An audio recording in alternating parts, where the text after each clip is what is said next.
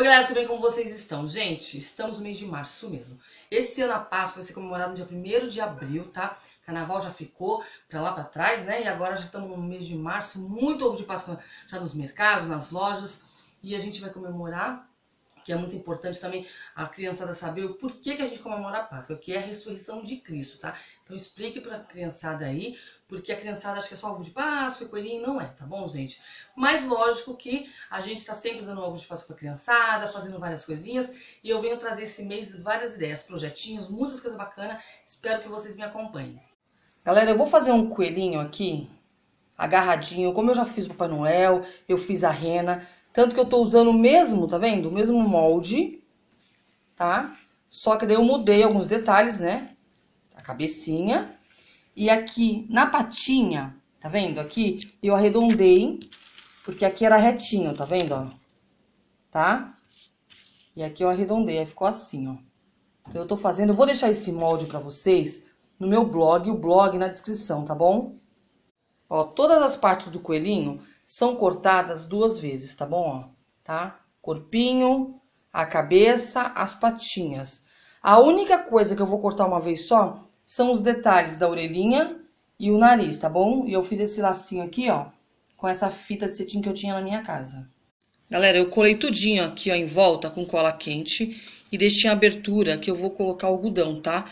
Eu vou colocar esse algodão aqui, tá? Não é manta não, é algodão bolinha mesmo.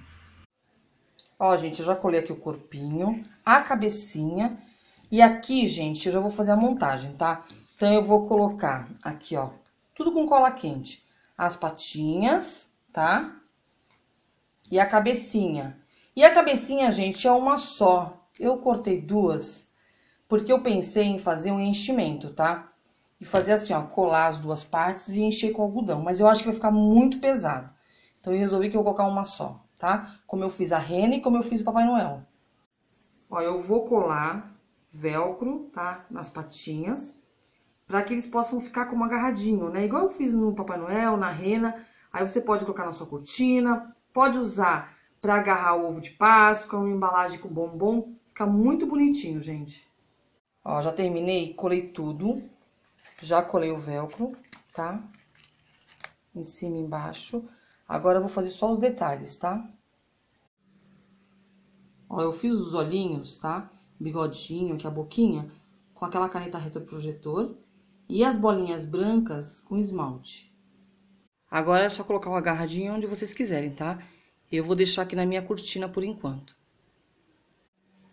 Ó, gente, eu esqueci de fazer o rabinho do coelhinho, tá? Então, eu tô fazendo aqui, ó. E agora eu vou colar no meu coelhinho, tá? Galera, eu fiz a versão coelhinho, tá? Que eu tinha feito a coelhinha, né? Com lacinho na cabeça. Agora eu fiz o coelhinho, ó, com uma gravatinha de EVA. Aí ficou assim, ó.